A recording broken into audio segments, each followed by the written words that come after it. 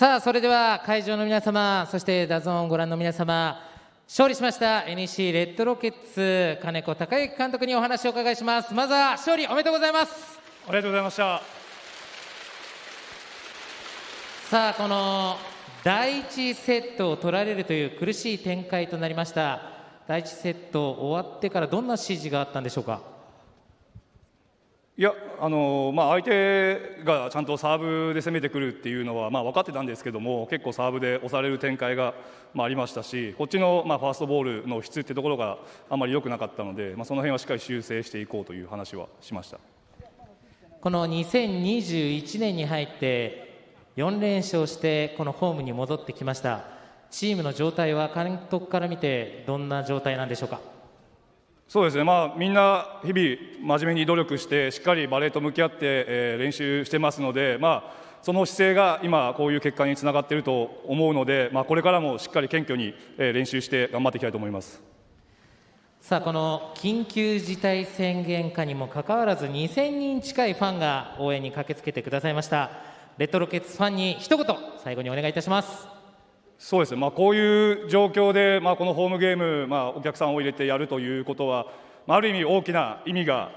あることなのかなと思っています、えーまあ、その中で我々は、まあ、皆さんもいろいろ今我慢する中で、まあ、こういった応援を来てくれたので、まあ、そこに応えれるプレーを見せようということを、まあ、試合前に選手には伝えて、まあ、選手もしっかりそれに応えてくれたと思います、えー、まだまだリーグ戦続きます、えー、我々優勝に向かって常に全力で頑張っていきますんでこれからも応援よろしくお願いします。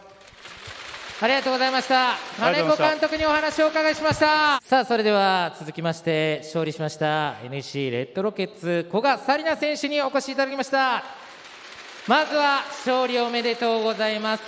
率直な今の感想をお聞かせください。はい、えっと、今シーズン最後のホームゲームでしっかり取ることができて本当に良かったと思います。今日は難しい試合になったと思うんですがご自身で良かったところどんなところだったんでしょうか？そうですね。オフェンスはまあ機能してたので、まあ、次の週も引き続き頑張っていきたいかなと思います。今日は古賀選手さんによるデザインマスクの攻防をして今回皆さんがつけているマスクでファン選手そしてスタッフが一丸となって共に戦うというメッセージが込められています。赤と黒で彩られたこのアリーナいかがでしたか？お願いします。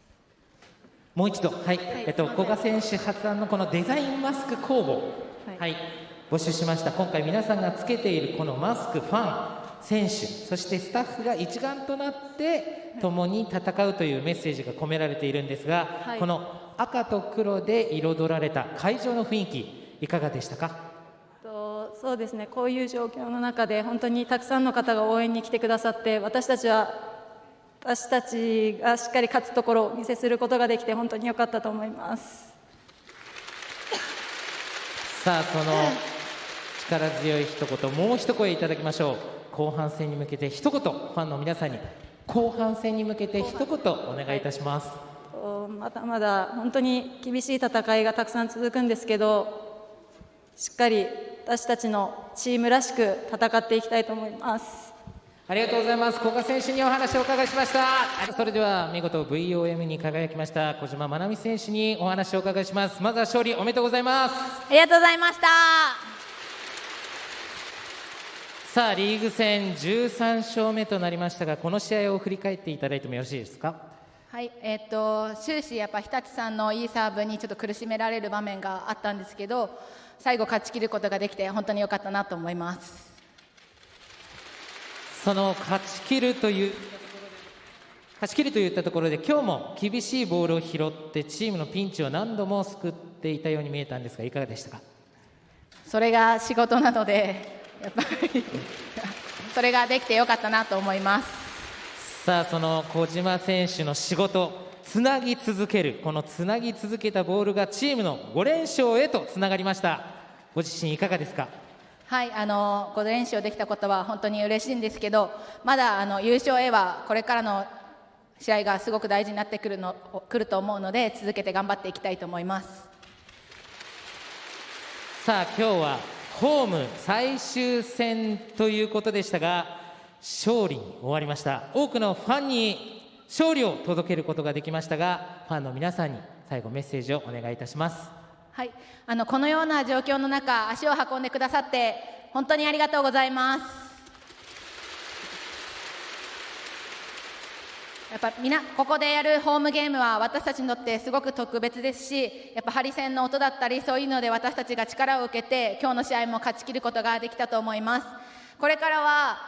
リモートだったりとか他の会場ではなると思うんですけど続けて私たちのことを応援してくださると嬉しいです。ありがとうございました。今一度盛大な拍手をお送りください。VOM 小島学選手でした。